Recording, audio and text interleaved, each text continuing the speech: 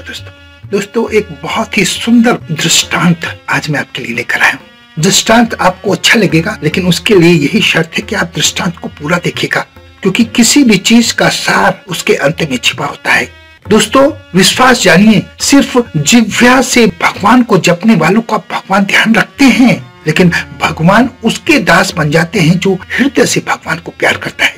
इसलिए हृदय से भगवान से जुड़िए जिव्या से जुड़ेंगे, तब भी भगवान आपके हैं, लेकिन भगवान उनको बहुत अधिक स्नेह करते हैं जो भगवान के हृदय से हो जाते हैं।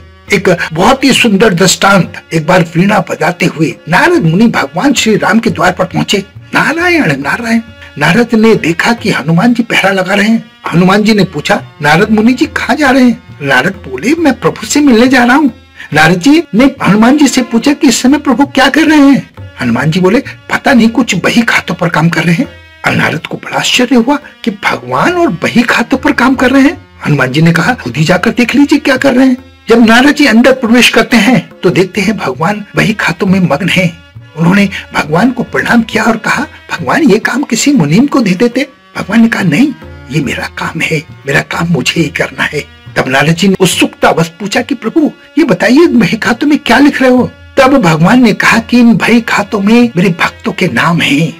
जो मुझे हर पल भजते हैं। मैं नित्य उनकी हाजिरी लगाता हूँ। बस यही काम कर रहा हूँ। नारद जी ने आश्चर्य से कहा अच्छा इसमें बताइए प्रभु, मेरा नाम कहाँ है? नारद मुनि ने जब बही खाता खोलकर देखा तो सबसे ऊपर नारद जी का नाम था। नारद जी को बड़ा गर्व हुआ, क्योंकि उन्हें लगा कि भगवान मुझे अपना सबसे अच्छा भक्त मानते हैं। पर नारद जी ने देखा कि उसमें हनुमान जी का कहीं नाम नहीं है। नारद जी अचंभे में सोचने लगे कि हनुमान जी तो प्रभु राम के सबसे बड़े भक्त हैं। फिर हनुमान जी का नाम प्रभु कैसे भूल गए? नारद मुनि हनुमान जी के पास आए और कहने लगे कि प्रभु के बही खातों में उन भक्तों के नाम हैं जो नित्य प्रभु को जपते हैं, भजते हैं, लेकिन उसमें आपका नाम कहीं नहीं है। हनुमान जी ने हंसकर कहा, मुनिवर, होगा। शायद आपने ठीक से देखा नहीं होगा। नारद जी बोले, नहीं नहीं, मैंने बहुत गौर से, ध्यान से देखा है, पर आपका कहीं नाम नहीं है।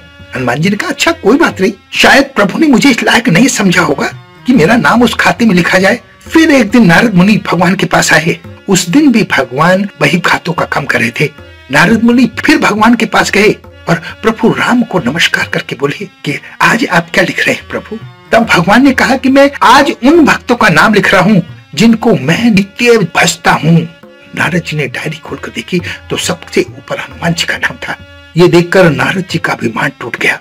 कहने का अर्थ यह है कि भगवान को जो जिज्ञा से बसते हैं।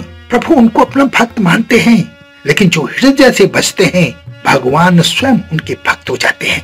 भगवान अपने हृदय में विशेष रूप से उन्हें रखते हैं। आशा है जो मैं समझाना चाहता हूँ, आपके समझ में आ गया होगा। अपना बहुत ध्यान रखें, हँसते रहें, मुस्कुराते रहें, खुश रहें। धन्यवाद।